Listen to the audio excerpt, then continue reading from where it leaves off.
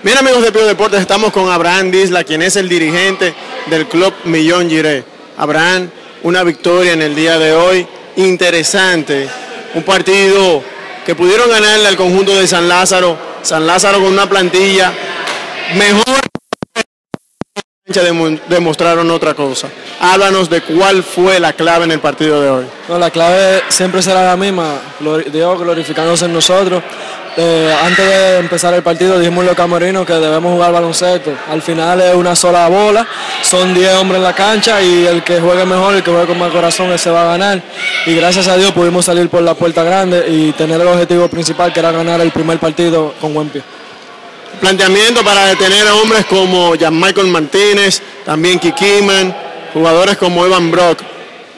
¿Cuál fue la clave o tu estrategia para, para esto?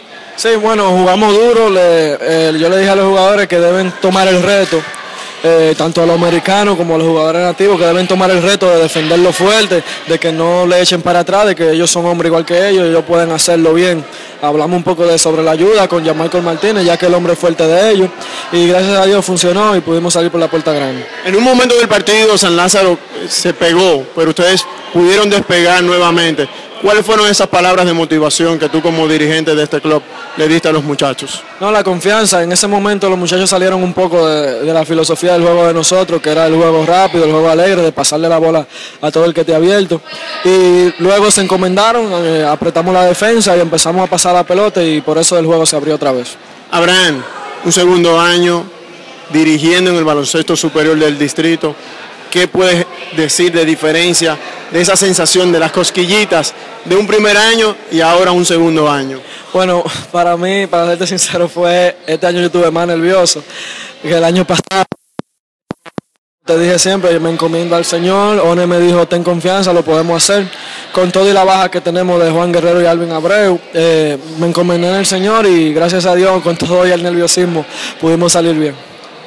Mencionas a Juan Guerrero y a Alvin, jugadores que fueron bien claves el año pasado.